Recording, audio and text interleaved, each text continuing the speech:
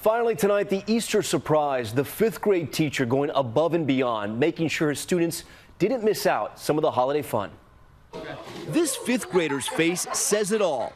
An Easter surprise he and his classmates never saw coming. On each of their desks, oversized stuffed Easter baskets.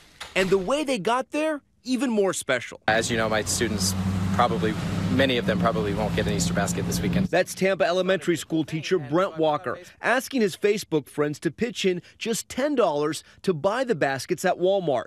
Within an hour, he had raised more than 700 bucks. I'm probably going to start crying here in just a minute, but I just want to thank all of you. Add in a discount from Walmart, and Walker was able to buy baskets not only for his class, but for all the fifth graders at his school. This is just unbelievable. This is um, five cartfuls of Easter baskets that are pre-made. We have um, we have footballs, we have basketballs, we have soccer balls of different colors, we have uh, backpacks, we have purses. Back at the school, students grateful at the kindness of strangers. I think that was a wonderful day. He put it on Facebook and he got wonderful friends. I think they did a good job.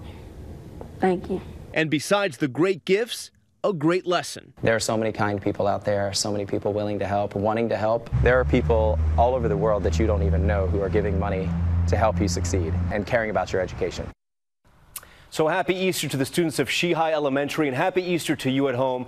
Of course, GMA first thing in the morning. I'll be right back here tomorrow night. I'm Tom Llamas in New York. Have a great evening. Good night.